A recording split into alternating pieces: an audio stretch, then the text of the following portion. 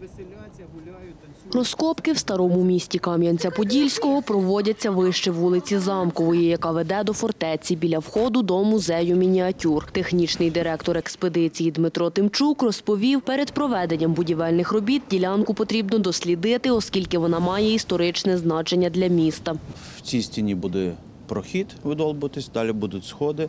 Ось і ми маємо дослідити цю ділянку. Три метри розкопаного ґрунту на стіні повністю насипні з паркової зони в період після Другої світової війни. Тут виявили знахідки з різних історичних періодів.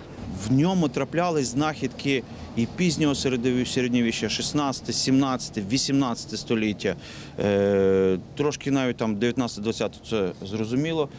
І траплялись знахідки трипільської кераміки. Е, Скіфи навіть траплялися. Археолог робить висновок, земля звозилась з різних частин Кам'янця-Подільського і розрівнювалась вже тут, в старому місті, після завалів внаслідок Другої світової. Нижче стіни залишки фундаменту датуються 17 століттям. Ймовірно, кляштор босих кармелітів, який був зруйнований в турецький період. Найцікавіша знахідка, розповідає учасник археологічної експедиції Петро Болтанюк, залишки старовинного підземелля, вибитого в гравійній і материковій породі. Ширина 1 метр, висота 1,8 метра. У нас є дві версії, для чого це могло використовуватися. Або це було якесь підземелля, яке з'єднувало якісь певні точки міста. Е, Ну, наприклад, тут була недалеко церква, можливо, він десь йшов від церкви, або це е, з'єднувало бойовий об'єкт.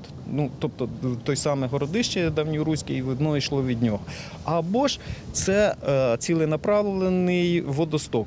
Додає, на території міста міг бути струмок, який направили в це місце, аби жителі Кам'янця мали доступ до води. Експедиція, каже Петро Болтанюк, зараз, поки розкопки продовжуються, дає широке датування знахідці від 13 до 16 століття. Саме в цей історичний період Кам'янець-Подільський почав свій розвиток як великий торговий центр. Діана Колесник, Олександр Горішевський. Новини на Суспільному. Хмельниччина.